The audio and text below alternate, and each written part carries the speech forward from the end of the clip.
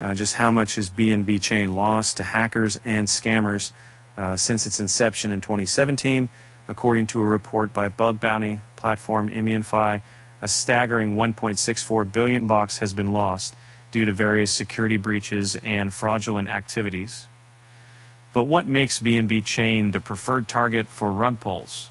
Uh, rug pulls, a type of fraud where developers create a project with the sole purpose of stealing deposited funds and abandoning the project, have accounted for $368 million of the total losses.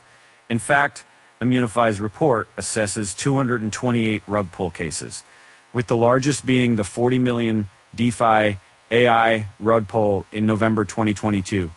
Um, so why is BNB chain the most common blockchain for rug pulls? Uh, Immunefi attributes this to developers using fork code and the BNB chain community uh, being lured in by quick ways to make money. However, um, losses have dropped in recent years following a series of hard forks aimed at addressing network vulnerabilities. Um, uh, but it's not just rug pulls that BNB Chain has to worry about.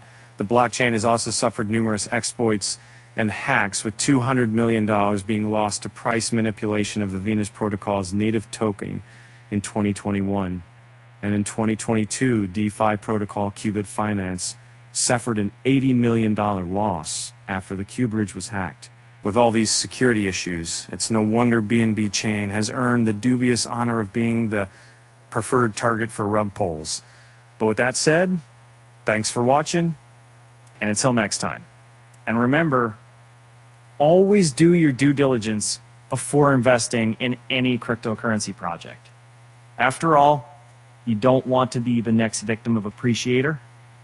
Rug pull.